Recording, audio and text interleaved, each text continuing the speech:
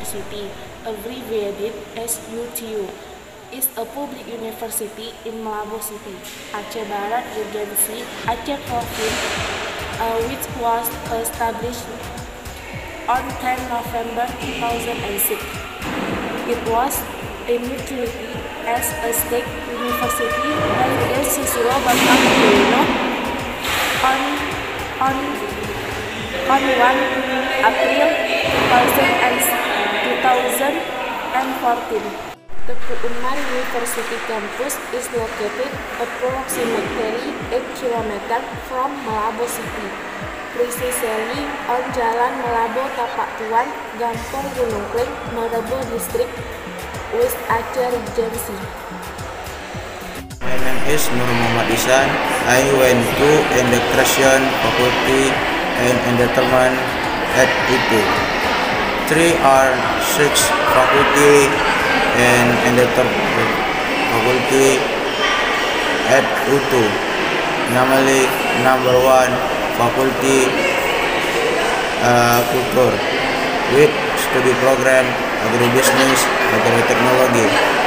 Number two, uh, faculty engineering with study program civil engineering, industrial engineering, mechanical engineering. Number three, faculty of faculty economy, study program management, economy diplomat, Kuanti. Number four, faculty mental health with study program still public mental health. Number number five, faculty freeze freeze of marine. Styles with study program. Aquatic reasons aquaculture uh, French French styles. With number six, faculty social and political. With study study program communication student public administration sociology legal students. War here at Tengku University. There is very large area of approximately 400 hectares. Tengku University is a building with four floors and in elevator and inside his many room and laboratories at the University of Tengku Umar.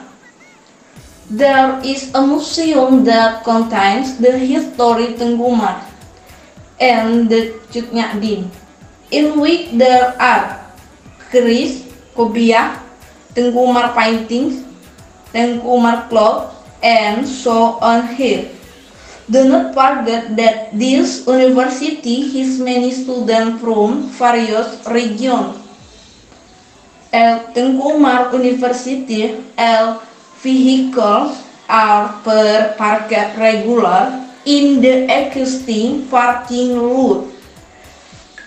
The plant ground have a progress and utility by university student Tengku Umar.